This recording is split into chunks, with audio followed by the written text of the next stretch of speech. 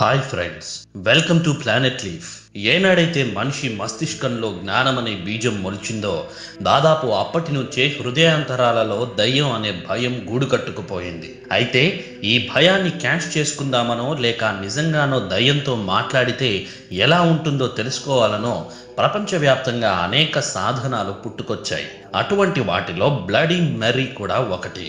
తెల్లవారుజామున రెండు నుంచి మూడు గంటల మధ్యలో గదిలో లైట్స్ అన్ని ఆపేసి ఒక పెద్ద అద్దం ముందు చిన్న కొవ్వొత్తిని మాత్రమే వెలిగించి బ్లడీ మెరీ అనే పదాన్ని మూడు లేదా పదమూడు సార్లు జపించాలట. దాంతో వెంటనే మెర్రీ అనే దయ్యం వచ్చి ఆ అద్దంలో కాబోయే భార్య లేదా భర్త ముఖాలు చూపిస్తుందని అలా కాకుండా పుర్రె బొమ్మ కనిపిస్తే అతడు లేదా ఆమె త్వరలోనే చనిపోతారని పలువురు విశ్లేషకులు చెబుతున్నారు. అయితే ఇందులో ఎంత నిజముందో లేదో తెలియదు కానీ ఈ బ్లడీ మెర్రీ అనే దయం కథ వెనుక నిజంగా మెర్రీ అనే మహారాణి ఉండేదని ఆమె చేసిన క్రూరమైన పనులు వింటే వెన్నులోంచి వణుకు పుట్టడం ఖాయమని చరిత్రకారులు చెబుతున్నారు. ఇంతకీ మెర్రీ అనే మహారాణి ఎవరు? ఆవిడ ఏ దేశానికి రాని మెర్రీ చేసిన ఆకృత్యాలు ఏంటి? ఆవిడకి బ్లడీ మెర్రీ అనే దయ్యం ఆటకి ఉన్న సంబంధం ఏంటి? అనే విషయాలు తెలియాలంటే ఈ వీడియోను అస్సలు స్కిప్ చేయకుండా చూడండి. ఇప్పుడంటే ప్రజాస్వామ్య దేశాలు సోషలిస్ట్ దేశాలు మతపరమైన దేశాలు అంటూ వివిధ విధానాలు కలిగిన సమాజాలు ఏర్పడ్డాయి. కానీ ఒకానొక సమయంలో ప్రపంచవ్యాప్తంగా రాజులు మాత్రమే పెత్తనం చెలాయించేవారని మనకు తెలుసు. వారిలో ఎంతో ఆదర్శప్రాయంగా రాజ్యపాలన చేసిన వారు గొప్ప రాజులు రాణులు ఉన్నా అత్యంత క్రూరంగా పాలించిన పాలకులకు కొదువలేదని చరిత్రను ఓసారి పరికిస్తే మనకే అర్థమవుతుంది. అటువంటి పాశవిక పాలనకు నిలువెత్తు అర్థం ఇంగ్లాండ్ రాణి మెరీ వన్ అని చరిత్రకారులు చెప్తున్నారు. ఈవిడ పాలనలో కొన్ని వేల మంది సజీవ దహనం చేయించిందట. మరీ ఘోరమైన విషయం ఏంటంటే మెర్రీ సజీవ దహనం చేయించిన వారిలో నిండు గర్భిణీలు కూడా ఉన్నారట. ఎన్నో దేశాల పురాణాలలో చెప్పబడ్డ రాక్షసులకు ప్రత్యక్ష రూపంగా లండన్ రాణి మెరీ వన్ అని చాలా మంది చరిత్రకారులు చెబుతుంటే కొంతమంది మాత్రం ఆవిడ అలా మారడానికి గల కారణాన్ని కూడా పరిగణలోకి తీసుకోవాల్సిందిగా సూచిస్తున్నారు. నాటి యూరోపియన్ దేశాలలోని బలమైన రాజ్యాలలో ఒకటైన ఇంగ్లాండ్ రాణి బ్లడీ మెరీగా ఎలా మారిందని తెలియాలంటే ఆమె చిన్నతనం గురించి పూర్తిగా తెలుసుకోవాలట. మేరీ వన్ పదిహేను వందల పదహారు ఫిబ్రవరి పద్దెనిమిదవ తేదీన లండన్లోని ప్యాలెస్ ఆఫ్ ప్లసెంటియా అనే ప్యాలెస్లో జన్మించింది. ఈమె ఇంగ్లాండ్ రాజు హెన్రీ ఎయిట్కి అతని మొదటి భార్య క్యాథరిన్ ఆఫ్ అరగాన్కి పుట్టిన తొలి సంతానం. దాంతో మేరీ చిన్నతనంలో చాలా సంవత్సరాలు ఎంతో సంతోషంగా గడిచిందట. హెన్రీ ఎయిట్కి మగ సంతానం లేకపోవడంతో ఆయన తర్వాత ఇంగ్లాండ్ సింహాసనంపై కూర్చోబోయేది మేరీనే అని రాచ కుటుంబీకులు అధికారుల నుంచి సామాన్య ప్రజల వరకు అందరూ అనుకునేవారు. అయితే రోజులన్నీ ఒకేలా ఉండవనే నానుడికి నిదర్శనంగా హెన్రీ ఎయిట్ మరో మహిళతో ప్రేమలో పడడంతో మేరీ జీవితంలో ఎన్నో ఒడిదుడుగులు మొదలయ్యాయని పరిశీలకులు చెప్తున్నారు. మేరీ పదకొండేళ్ళ వయసులో ఉన్నప్పుడు యానీ బొలియన్ అనే మహిళతో సంబంధం ఏర్పరచుకుని తన మొదటి భార్య అయిన క్యాథరిన్కి విడాకులు ఇవ్వడానికి హెన్రీ ఎయిట్ నిర్ణయించుకున్నాడట. అయితే అతని చర్యకు నాటి పోప్ అడ్డు తగిలాడట దాంతో పోప్ పై కోపం పెంచుకున్న హెన్రీ నాటి చర్చ్ వ్యవస్థనే సమూలంగా మార్చాలని నిర్ణయించుకున్నాడట. అనుకున్నట్లుగానే రోమన్ క్యాథలిక్ చర్చ్ నుంచి వేరుబడి తామే సొంతంగా చర్చ్ వ్యవస్థను ఏర్పాటు చేసుకున్నట్లు హెన్రీ ఎయిట్ ప్రకటించాడట. ఈ ఘటన ఇంగ్లీష్ రిఫార్మేషన్గా దానికి మద్దతు ఇచ్చిన వారిని ప్రాటెస్టెంట్గా పేర్కొనే వారిని చరిత్రకారులు చెబుతున్నారు. అయితే చిన్ననాటి నుంచి క్యాథలిక్ చర్చిలో జరిగే ప్రార్థనలు వింటూ పెరిగిన మేరీకి తండ్రి తీసుకున్న నిర్ణయం మింగుడు పడలేదు కానీ అసలే తల్లిని రాజ్యం నుంచి వెళ్ళగొట్టడం తనకి రాజ్యంలో అంతగా ప్రాధాన్యత లేకపోవడంతో మేరీ ఏమీ మాట్లాడకుండా ఉండిపోయిందట. మరోపక్క తనకి యానిబోలియన్కి మధ్య అడ్డుగా ఉన్న మొదటి భార్యను పుట్టింటికి పంపివేశాడట.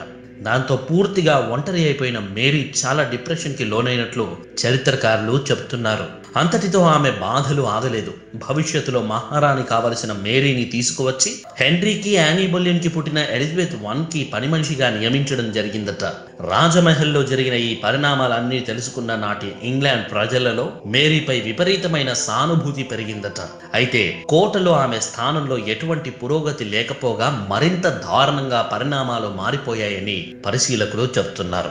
క్యాథరిన్తో జరిగిన పెళ్ళి అసలు పెళ్ళే కాదని తను నాకు సరైన భార్య కాదని యానీ బొలియన్నే నాకు అసలైన భార్య అని వీటికి మేరీ కూడా సమ్మతిస్తుందని అనే విధంగా హెన్రీ ఎయిట్ ఓ పత్రాన్ని సిద్ధం చేయించి దానిపై మేరీని సంతకం చేయాల్సిందిగా ఆదేశించారట. అయితే తండ్రి చెప్పినట్లు చేస్తే భవిష్యత్తులో మహారాణి అయ్యే అవకాశం పూర్తిగా చేజారిపోతుందని భావించిన మేరీ ఆ పత్రాలపై సంతకం చేయడానికి ఒప్పుకోలేదట. దాంతో ఆగ్రహించిన హెన్రీ ఎయిట్ రాజు చెప్పిన మాటను వినని నువ్వు? రాజ్య ధిక్కరణకు పాల్పడిన వ్యక్తితో సమానమని చెప్పి రాజ్యం నుండి పంపేశాడట. ఇది జరిగిన కొన్ని రోజులకు తనకి చిన్నతనం నుంచి తోడుగా ఉన్న తల్లి క్యాథరిన్ కూడా అనారోగ్య కారణాల వల్ల మరణించడం జరిగింది. దాంతో తన జీవితం దాదాపు అంతమైపోయిందని మేరీ భావించినట్లు చరిత్రకారులు చెబుతున్నారు. ఇదిలా ఉంటే లండన్ రాజభవనంలో పరిస్థితులు రోజు రోజుకు హెన్రీ ఎయిట్ రెండో భార్య అయిన యానీ బొలియన్కి వ్యతిరేకంగా మారాయట. హెన్రీతో సంబంధం ఏర్పరచుకున్నప్పుడు తన వంశానికి వారసుడిని ఇస్తానని యానీ వాగ్దానం చేయడం జరిగిందట. అయితే ఆమెకు ఎలిజబెత్ అనే ఆడపిల్ల పుట్టడంతో యానీపై హెన్రీ కాస్త కోపం పెంచుకోవడం జరిగింది. అదే సమయంలో యానీ తన కోటలో ఉండే పని వాళ్ళతోనూ అన్న వరస అయిన వాళ్ళతోనూ అక్రమ సంబంధం పెట్టుకోవడం జరిగిందట.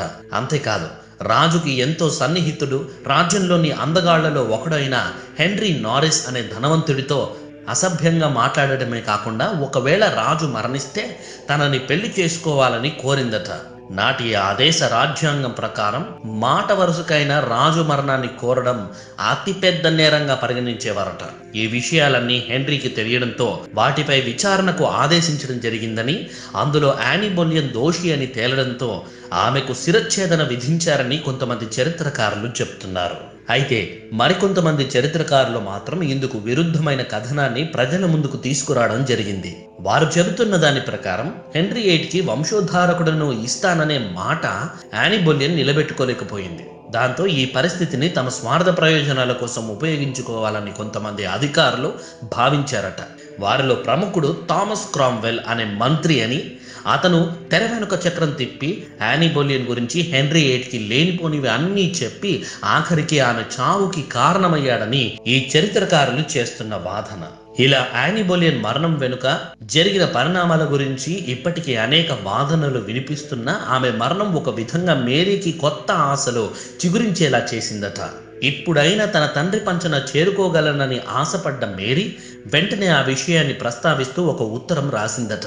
కానీ ఒకప్పుడు తాను ఇచ్చిన పత్రాలపై సంతకం చేయకుండా వెళ్ళిపోయిందనే కోపంతో ఉన్న హెన్రీ ముందు ఆ పత్రాలపై సంతకం చేస్తేనే రాజ్యంలోనికి అనుమతి అని నిబంధనతో కూడిన ఉత్తరాన్ని తిరిగి పంపించాడట.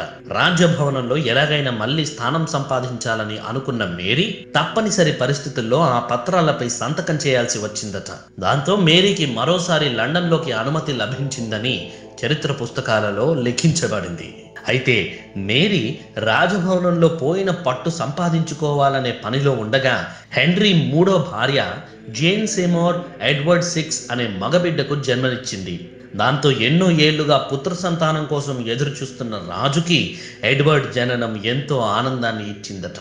అయితే ఎడ్వర్డ్కి తొమ్మిదేళ్ళ వయసు వచ్చేసరికి హెన్రీ ఎయిట్ అనారోగ్య కారణంగా మరణించడంతో అంత చిన్న వయసులోనే అతడు రాజుగా గద్దెనెక్కక తప్పలేదు.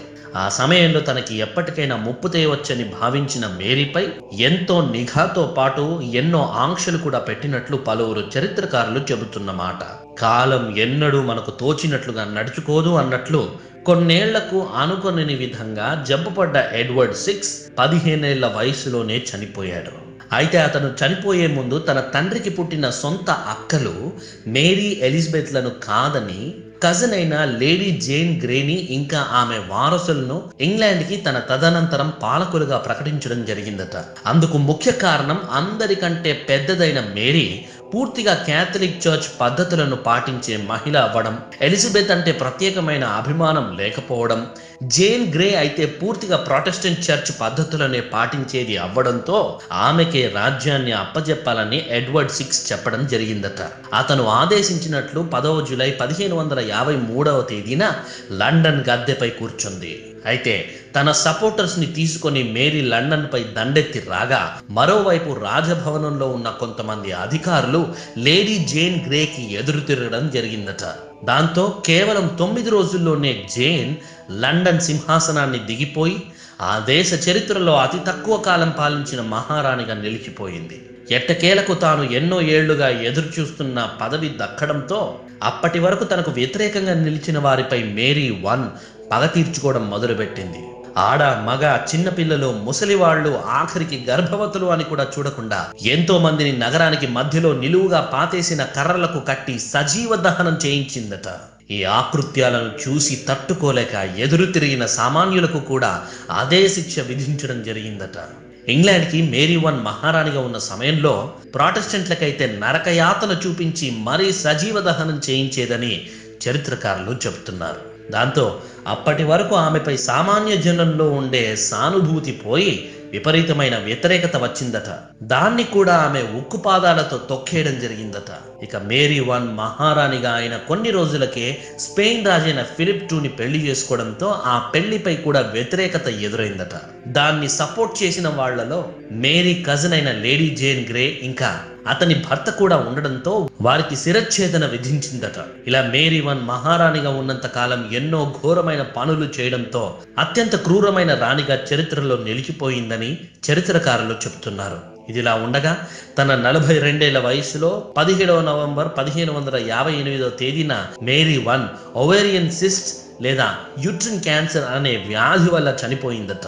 ఆమెకు పెళ్ళైతే అయింది కానీ అసలు పిల్లలే పుట్టకపోవడంతో తప్పనిసరి పరిస్థితులలో తన తదనంతరం మేరీ వన్ పిన్ని కూతురు అయిన ఎలిజబెత్ వన్ని మహారాణిగా ప్రకటించి చనిపోయింది. అంతేకాదు మేరీ చనిపోయే ముందు తన శవాన్ని తల్లి క్యాథరిన్ ఆఫ్ ఆరగాన్ పక్కనే పాతి పెట్టాలని కోరిందట. కానీ ఆమె శవాన్ని లండన్లోని వెస్ట్ మినిస్టర్ యాబేలో పాతి పెట్టడం జరిగిందట.